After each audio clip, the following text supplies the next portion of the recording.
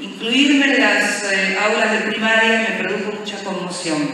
Y es algo que quiero decir, porque en realidad cuando uno mira el nivel inicial, piensa que el nivel primario va por otro carril, y ahí también armamos una histórica disputa que yo ya vivía cuando era maestra de sala de 5 y me estrujaba el corazón entregarle mis niños a la señorita Marta. Y aprendimos con la querida señorita Marta, que era una persona grande y que era de primaria, y yo digo mis niños a propósito, que si no construíamos puentes, esos niños no podían continuar su trayectoria educativa. Entonces aprendimos a aceptar que yo tenía que ceder algunas cosas, no muchas, no todas, algunas, ¿no? Nada de los hábitos que se piden al nivel inicial, porque el nivel inicial se ocupa de la construcción de normas y esperamos que el nivel primario también. Nada de enseñar a leer y escribir, porque no función del nivel inicial enseñar a leer y escribir, Chelo ya lo va a retomar cuando además de lo de filosofía tome la parte de alfabetización, pero sí esa construcción de fuentes que implicaba que yo entregaba, y le digo a propósito ese término a mis niños con mayor tranquilidad que sabía que ese puente de ida y vuelta permitía que ellos vengan a la sala a jugar en los sectores y que yo vaya con una otra sala de cinco del año siguiente a compartir algunas propuestas, etc. Cuando hablamos de la articulación entre niveles, eso también es bien importante. No estamos hablando de una sala de cinco que se disfraza con un delantal blanco y se va en noviembre a tomar el tren con primer grado y tratar de aceptar que cambie el espacio físico, la modalidad, etc. Si no estamos hablando de dos niveles que deben articularse, deben cruzar los puentes y probamos millones de proyectos en los cuales la sala de tres trabaja con tercer grado, la sala de dos trabaja con cuarto, y etcétera, etcétera, etcétera. Desde esta idea conmueve lo otro que les quería decir que es cuando uno mira y mira desde la diversidad y mira de mejores posibilidades para pero también es cierto, porque uno nunca cierra las eh, respuestas, porque no hay respuestas únicas, porque la escuela y la vida son diversas, porque como dice el título, la cara de la luna son dos, porque como nosotros sabemos no hay nada completo, hay diversidad. Tengo una amiga que dice lo único completo es la milanesa. Y tiene razón, ¿no es cierto? Entonces, como no hay nada completo, uno sabe que la perfección no existe y va buscando las diferentes instancias. En esto es verdad la demanda familiar, pero también es verdad que cuando los escuchamos tenemos un montón de elementos para mejorar nuestra tarea. Cuando viene esa situación, y yo me voy con la directora de primaria, como rectora de los cuatro niveles, inicial, primario, secundario y terciario, con la formación en primario y en inicial, eh, encuentro una maestra que le pasaban las mismas cosas que nos pasaban en el nivel inicial. Y encuentro una maestra que hablaba con esa, ¿no? Y miro a los chicos y nos preguntábamos por qué los chicos no querían participar y se aburrían esta idea ¿no? que dice Lehmann de que los estados emocionales se contagian, ¿no? entonces los chicos estaban hasta que empezaba la revolución adentro del aula, esa maestra que trabajaba matemática y hacía cuentas durante 40 minutos, esa maestra que empezaba, ¿no? con lo que yo digo es una escala de ascenso a cúmulo de recompensas y castigos que nos produce cuando el grupo se empieza a desbordar, en vez de preguntarnos previamente cuál fue la propuesta que hicimos, cuál fue la planificación que hicimos de esa propuesta, cuál fue la evaluación y lo que es peor, porque todo eso es didáctico, ¿no? Pero lo que es peor es lo ético, que es responsabilizar a nuestros niños de que no pueden participar en las propuestas. Cuando el 99% de las veces, y lo compruebo a diario, la problemática está en el tipo de propuesta o en el estilo que implanta el educador cuando lleva adelante las propuestas. En ese sentido, la diferencia estaba, porque los niveles tienen también su impronta peculiar, obviamente por suerte, en que en la escuela primaria tocaba el timbre y los chicos iban al recreo, en el nivel inicial el docente que ya no más decía, vayan al patio, o sea, te abría la puerta y vayan al patio. Cuando empezamos a analizar estos aspectos, nos lleva a plasmar la idea de esta responsabilidad educativa que tenemos con estos niños. A mí me preocupa seriamente la mirada de los niños. Veo como los niños están tantas veces perdidos o el modo que uno expresar. Entonces entra los gritos con los del hogar, del hogar, del hogar, del hogar, del hogar. Los niños que están en los hogares son niños judicializados que tienen situaciones muy complejas como para estar en la escuela viviendo esto que la maestra de educación física transmitía.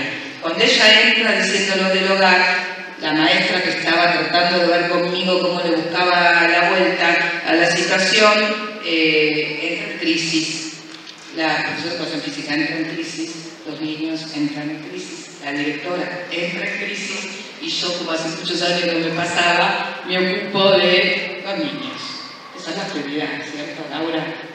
¿Cierto, Chelo? Son las prioridades. Entonces veo la situación y digo, bueno, vamos a organizar, vamos a hablar, ¿no? Después sería para retomar en una actividad de filosofía para con niños, pero por lo menos en ese momento, ¿qué es lo que está pasando? ¿Qué significa lo del hogar? ¿Qué significa esto? Bueno, Después de esa situación me doy vuelta y miro un niño con lágrimas en los ojos y como digo siempre, no hay nada que justifique un niño con una sola lágrima en Yo cuando veo una sala o un aula con mucho orden me pregunto cuánto hubo de condicionamiento, estímulo-respuesta, recompensa y castigo para lograr eso en estas infancias que necesitan tanto movimiento, que necesitan aprender con placer para estos educadores que necesitan disfrutar de lo que hacen y para estas escuelas que deben llenarse de colores. Y el color se logra cuando uno hace propuestas creativas y cuando uno hace propuestas con sentido. Yo digo que los niños son tan sabios que enseguida pueden captar cuando una propuesta les resulta significativa, porque son niños. Y es muy difícil que no se sientan atraídos por una propuesta significativa y mucho más difícil con el educador sostiene la impronta de esa propuesta y da permiso para que pasen algunas cosas y que todos, como todos los educadores, podamos decir, no, la verdad que esto no estuvo del todo bien, lo modifico porque está sustentado en la ética y en el conocimiento, es decir, en esos aspectos que no se negocian.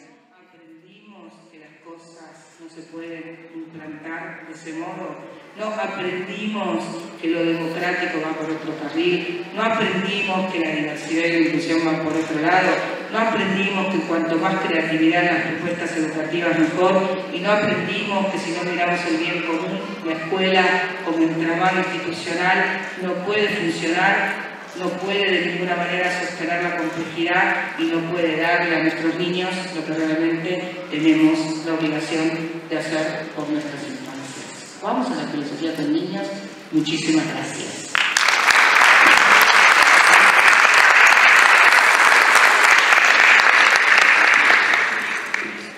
Buenas tardes.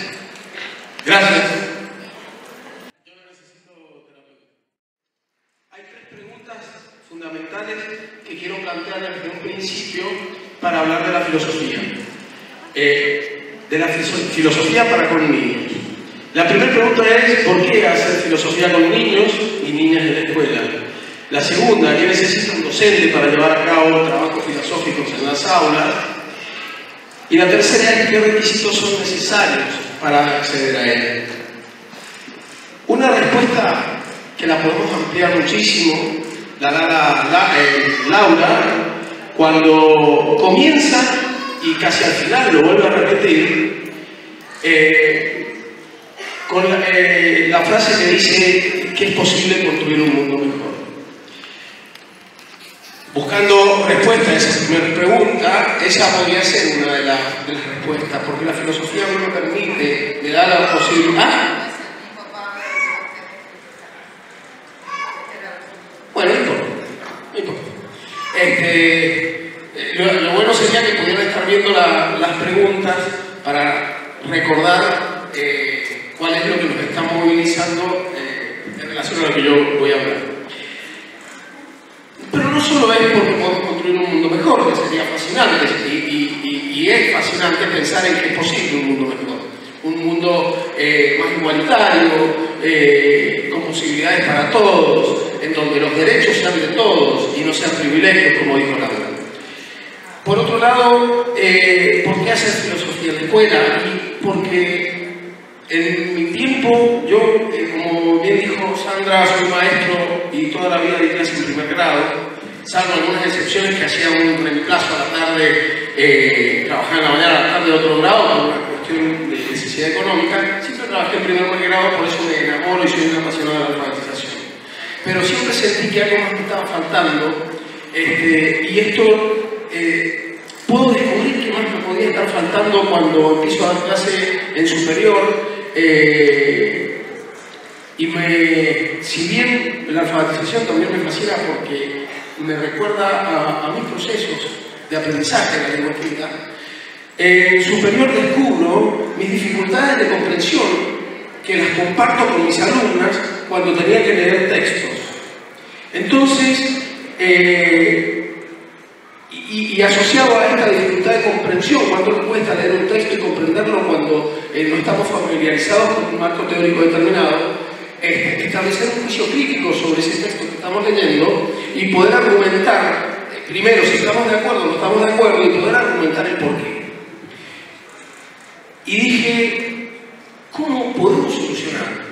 Tengo la suerte de que me invitan a un Congreso Internacional de Filosofía donde yo tengo que exponer, abrimos el Congreso con una amiga mexicana que habíamos hecho una investigación sobre el valor de la palabra en el aula eh, y donde esa palabra que bien dijo Laura tal vez es el único lugar donde es tomada en serio, hablo de la palabra del niño, donde el niño puede ser escuchado, respetado y aprende a escuchar al otro, a valorar su palabra y a valorar la palabra del otro. Estábamos exponiendo esta investigación que nos llevó varios años, este, y tengo la suerte de que estaba ahí un señor que escribe el libro eh, que hemos traído ahora también, Filosofía para con niños y niñas, eh, el señor Walter Cohen, un maestro de maestros de filosofía con niños, del recién Río de Janeiro. Después que me escucha, viene y, me invita a hacer seminarios de filosofía con él. Yo como buen maestro, bien pobre, digo, no tengo un mango para pagar el seminario, no te estoy cobrando, te estoy invitando. ¡Wow! ¡Qué honor! Y empecé, hice seminario con Walter, y ahí dije, la verdad que es posible cambiar la historia. Este, porque me enseñó a preguntarme y me enseñó ese seminario la importancia que tiene enseñar a preguntar a nuestros alumnos sobre cosas de la vida. Entonces empecé a intentar, primero desde un marco teórico, que ya les voy a decir cuál es, no hace falta ponerse a estudiar lo que sabe Carlos sobre filosofía para hacer filosofía con niños. Hace falta entender lo que entendió Sócrates que todos los seres humanos somos potenciales filosóficos y que necesitábamos algunos requisitos, que era comprometerse con la búsqueda del saber.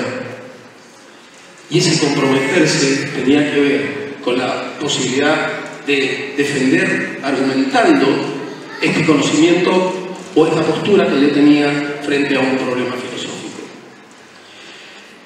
Entonces, eh, ¿qué requisitos deberíamos tener los maestros? Saber que la filosofía forma parte de la educación.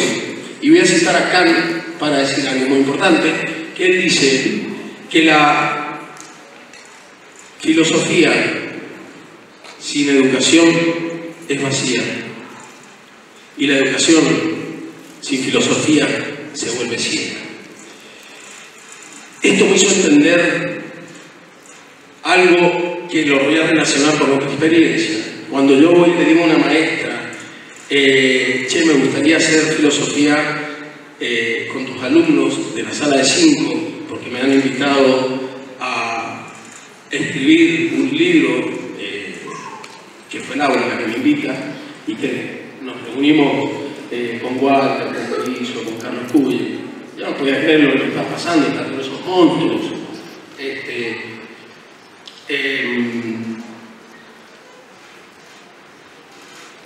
Porque me...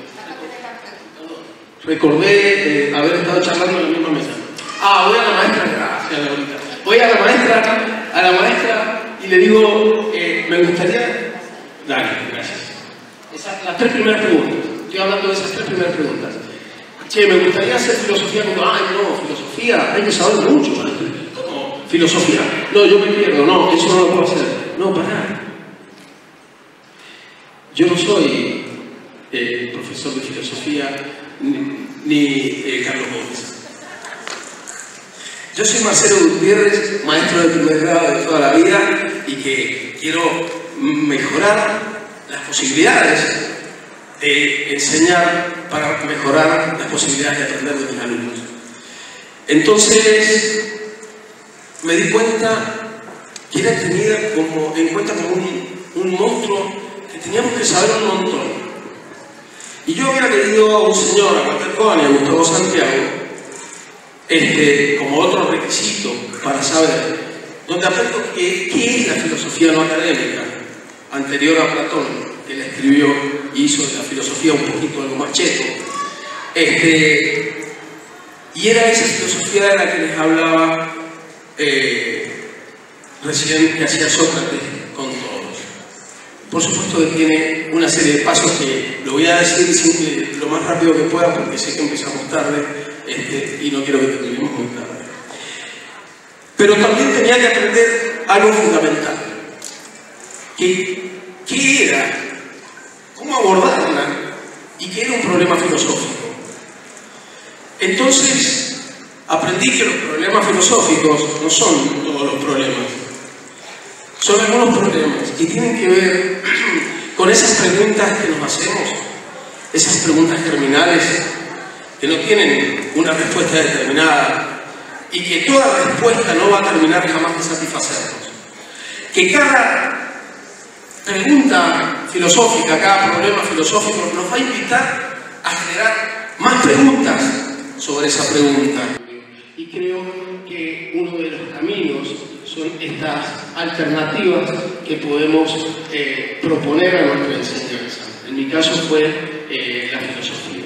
Experiencias como educar, o sea, como el propio Pavlov, eh, como creía Pavlov, desde el exterior, no, desde el interior, construir conceptos que los niños fueron descubriendo a través de ese análisis eh, y de esa refutación de algunas hipótesis de algunos compañeros, la aceptación de algunos, de decir, la verdad que lo que, lo que yo dije, después de lo que hemos construido, eh, tenía valor y aportó, pero lo que construimos es mucho, mucho más importante. Se construyó de forma colectiva. Tal vez estamos contribuyendo a dejar de lado el individualismo en el que se vive eh, de esa manera, quién sabe, ¿no? Un montón de cosas. Bien, después, otras preguntas, ya dijimos lo que es el problema filosófico y qué conocimientos teóricos son necesarios para hacer filosofía. Saber que existe, de alguna manera ya lo dije, una posibilidad de hacer una filosofía no académica, en donde yo no me voy a poner a estudiar, sí, ¿por qué no lo puedo hacer? Eh, ajeno, para profundizar un poco más tal vez, pero no es desde ahí la filosofía.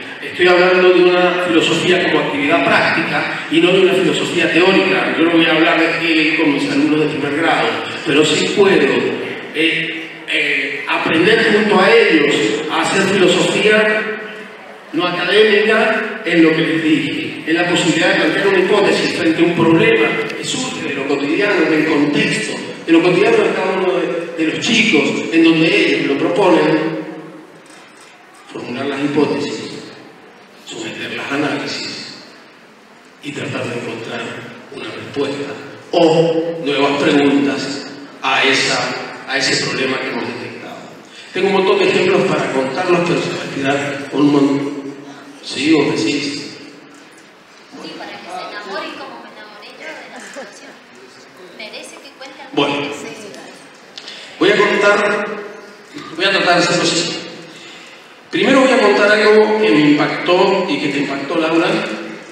Eh, cuando una alumna me dice, ah, bueno, antes de eso quiero contar algo muy cortito y muy importante, sobre lo oportuno dentro de la filosofía. algo que dijiste es tan importante, esa mirada de a todo lo que está pasando, que Michel Foucault en la palabra de las cosas habla sobre lo que cosas signan, yo tomo también sobre lo, que los rostros signan en el aula. Esa mirada de- del profesor que tiene el maestro, que tiene que estar atento, porque a veces tras una mirada hay una palabra que no se dice, pero que tenemos que, tratar de ver qué está pasando, ¿no? Eh, otra una mirada de tristeza o una lágrima, ¿sí? Eh, aunque más allá es verdad que no hay nada que justifique un- una lágrima en el rostro como dijo Laura. Este, en esa, yo estaba con todo el empuje para intentar hacer filosofía y, aprender de eso, entonces una alumna me dice, yo siempre pensando cuáles serán los problemas filosóficos, a ver, ¿cómo podría ser que ellos planteen? Y a veces nos están planteando y no, no- no lo estamos escuchando, ¿sí? Entonces me dice, maestro, mi abuela se murió, mi mamá me dice que está en pero ¿por qué cada vez que va al cementerio mira la? ¡Wow! Entonces, primero me quedé pensando, segundo dije gracias. Esto puede ser planteado como la posibilidad de empezar a hacer filosofía. Mi reacción inmediata fue preguntarle a los compañeros, ¿y ustedes qué opinan de lo que dijo Luna? Entonces Mía, otra alumna, dice, lo que pasa es que también eh, a mí me gustaría saber de dónde venimos cuando nacemos. Y dije, papá, me encontré con dos filósofos en el aula y, y tienen ¿Cuánto voy a aprender? Se armó un debate muy interesante eh, en donde se deja ver la influencia del pensamiento familiar, donde te conocer cosas que por ahí no conocías, pero llegaron a conclusiones realmente eh, que vienen desde educar o educer, ¿no? que vienen de adentro, en donde ellos construyen un conocimiento hipotético a través de la contemplación, en ese tiempo ayón, término que aprendí con Walter Cohen, en donde ellos pueden buscar una respuesta frente a una pregunta que tal vez no la tienen. ¿Sí? Por un lado eso.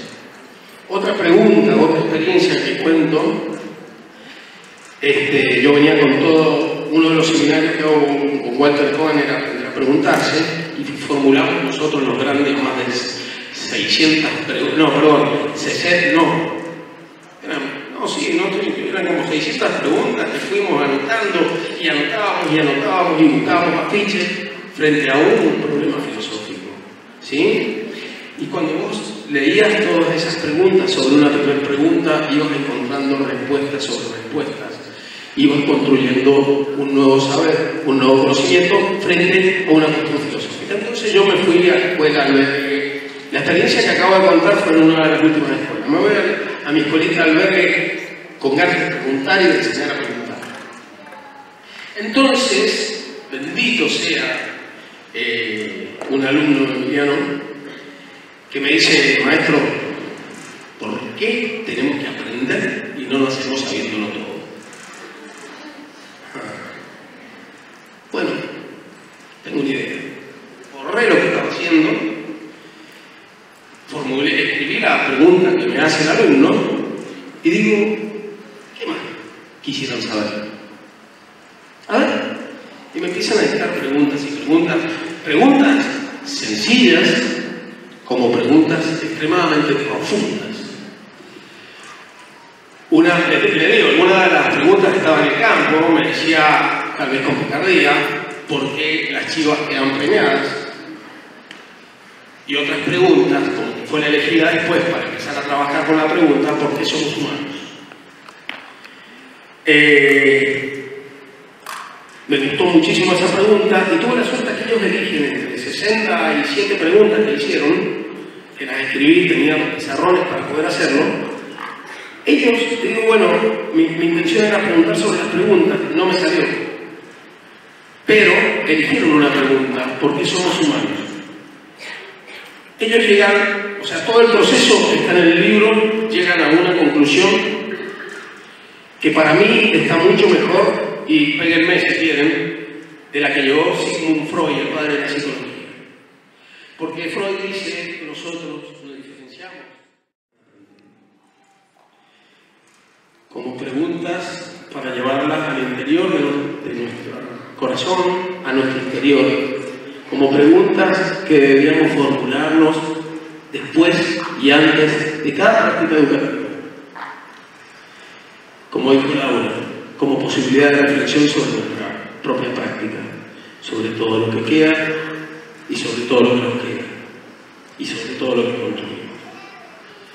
Con esto no hablo más de filosofía, ¿sí? Ahora los voy a aburrir un poco con otro tema.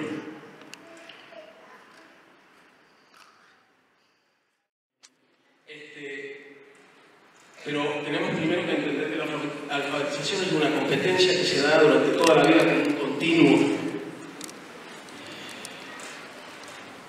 Tal la separamos, como dice Edgar Morin, hemos separado las áreas del conocimiento y no las podemos unir, no sabemos en la escuela cómo unirnos y por eso nos cuesta tanto hacer aprendizajes significativos. Lengua, matemática, conocimiento del ambiente, ciencias sociales. Hijito, ¿podés ir al kiosco a comprarme caramelos? No, mamá, estoy en lengua. No existe. La vida es un todo. La alfabetización también es un continuo. Pero la separamos y les cuento que la alfabetización inicial, en esas segmentaciones que hemos hecho para poder comprenderla, las separamos en realidad, las áreas están separadas para poder estudiarlas. ¿Sí? Pero la vida no se da por separada. Eh, la alfabetización inicial comenzaría antes, después, más o menos, en la sala de 5 y terminaría en tercer grado, primer ciclo completo. ¿Sí? Teóricamente, un poco más, un poco menos. ¿De qué depende ese poco más, ese poco menos? Y depende de los tiempos individuales. Así como preguntamos cosas diferentes, nos interesamos por cosas diferentes en determinados momentos y en momentos diferentes también nuestros tiempos de aprendizaje son totalmente diferentes. Para comer una galleta, por más que yo les diga ahora tener un mordisco, lo dijo Laura, ahora no, no, ninguno va a terminar el mismo momento, ni le va a dar el mordisco. Alfabetización, en, ese conocimiento tan difícil que es aprender a leer y escribir, tal vez el más difícil en toda la escolaridad, tampoco se dan en el mismo momento. ¿sí? Pero hay cosas hay requisitos, como dije recién, fundamentales eh, que debemos tener en cuenta para alfabetizar. Primero tenemos que saber qué es el lenguaje oral, qué es el lenguaje escrito, qué posibilidades nos dan cada uno de ellos y qué representan. El lenguaje oral, este, no voy a decir nada nuevo, pero es para que entrar, es la representación, yo lo defino así, es la representación sonora de nuestro pensamiento. ¿Sí? El lenguaje oral es un invento, por supuesto que es un invento, no nacemos y el hombre no llegó al mundo hablando, tuvo, una construcción en una necesidad de comunicarse, de expresarse, que tiene que ver con necesidades necesidades materiales, necesidades emocionales, de expresar emociones, sentimientos, miedos, etc. Como lo hacía y bueno, empezó a establecer una relación profunda con el mundo y las cosas del mundo, y una relación profunda entre los otros humanos que también tenían esa necesidad de comunicarse. Entonces, podemos decir con lo que dije, que el lenguaje oral es la representación de mi pensamiento en forma sonora, a través del cual, articulando sonidos, yo me puedo expresar y dar a entender lo que pienso, lo que siento. O sea, tiene un gran sentido. Nadie habla por hablar. Hablamos porque necesitamos hablar y necesitamos comunicarnos.